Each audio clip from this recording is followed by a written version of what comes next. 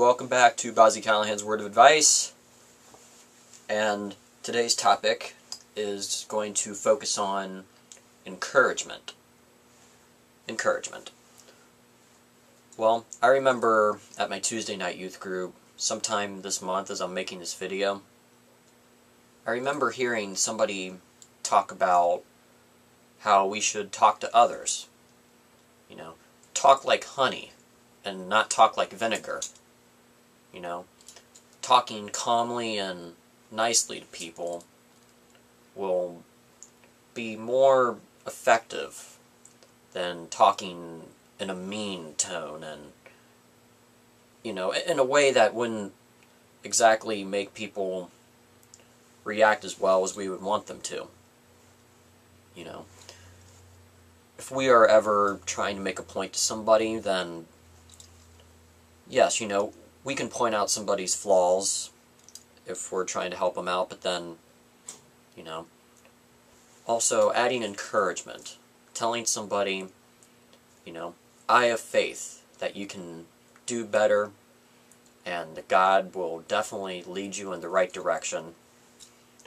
If you say, you know, encouraging things to somebody, then that will be more effective than just pointing out somebody's mistakes and also, you know, it'll be more effective than talking to somebody in a bad, kind of mean tone.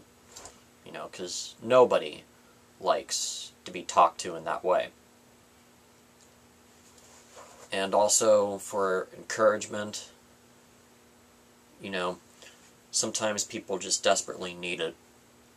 You know, there are a lot of people in this world that really don't feel confident in themselves. Some people go through this life and they think they don't mean anything. They think they're worthless. But hey, the gift of encouragement and, you know, the, the love that can be spread through the right words and the right attitude towards people can definitely help people feel more confident in themselves and feel happier. You know, for a while, I didn't believe that I was a good looking kid. And, you know, anyway, I mean, what's true beauty anyway? It's on the inside, but on the outside, I never thought I was a good looking person. And for a while, people were encouraging me you know, saying this a lot. You know, people always said I had a nice smile. And I didn't believe that. I didn't believe I had a pretty face or, you know, a pretty smile, anything like that. I didn't believe it.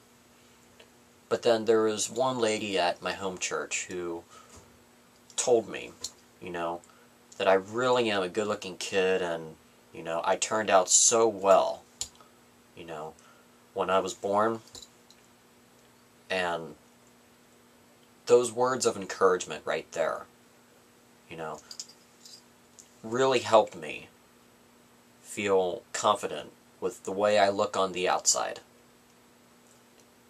And because of those words right there, ever since then, March of 2010, you know, I've had more confidence with the way I look, and, you know, it, it just took that one little conversation. And one little conversation can change a lot for somebody. Especially a happy and uplifting conversation with words of encouragement. So if there's anything to take from this word of advice video, spread God's love spread the encouragement to others because, as I said, people need encouragement. And even if people are happy with themselves, encouragement always helps.